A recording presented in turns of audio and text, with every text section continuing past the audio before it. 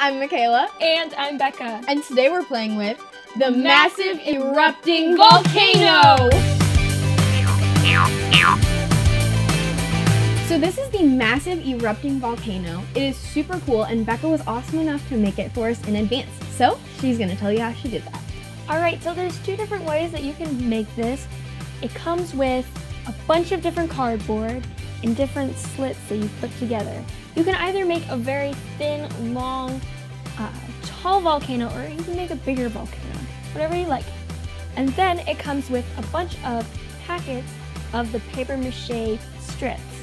And all you do is you get them a little bit wet, put them on, keep going until they're all out. It also comes with two paints, one black and one orange, so you can decorate your volcano. It comes with this awesome instructive booklet that also works as a poster with some awesome fun facts about volcanoes. And it comes with actually six packets, so you can erupt it three different times. First, we're gonna paint it, and then we will show you how cool this actually is.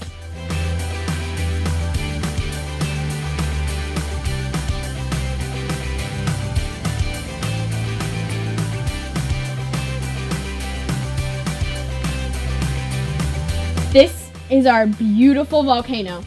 We have named it Mount Wink. Da, da, da.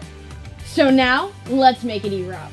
Now we are going to dump a little bit of our powdery mixture onto top of our volcano. I say dump a lot of it. Ready? Here we go.